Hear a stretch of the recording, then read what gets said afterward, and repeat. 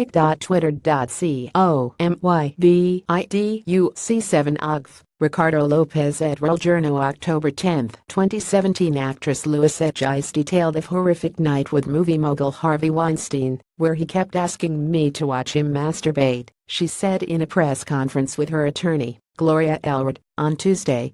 As A-list actresses Gwyneth Paltrow and Angelina Jolie revealed their harrowing assaults by Weinstein, Geiss described the meeting with Weinstein, that she said, caused her to leave the entertainment industry I first met Harvey Weinstein at the Cannes Film Festival, Geiss said in Allred's office. She saw him again at the Sundance Film Festival in 2008.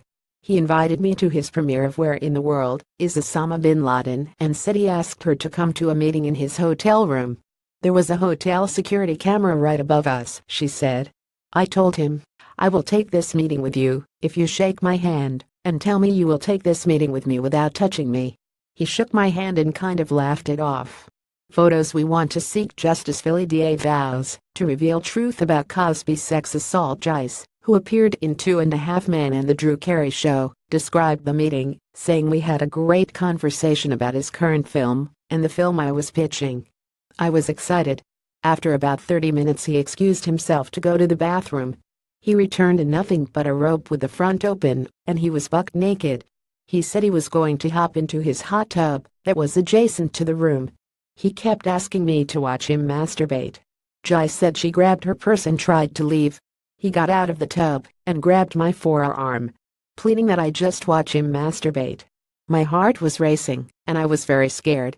She said upon her denials he promised her movie deals, but I had to watch him masturbate.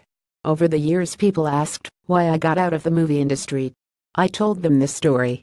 I never ever thought I would have any chance to stand up for myself against Harvey Weinstein. Photos latest statement Gloria Allred deposed Bill Cosby for seven hours in Playboy Mansion sexual assault case, reveals plans to release transcript Allred told reporters that since the incident took place in Utah the statute of limitations had run out.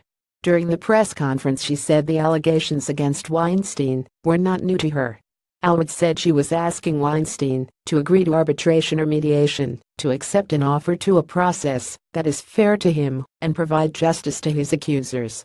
Stay with Radar for updates to the story. We pay for juicy info. Do you have a story for RadarOnline.com? Email us at tips at RadarOnline.com or call us at 8 anytime, day or night.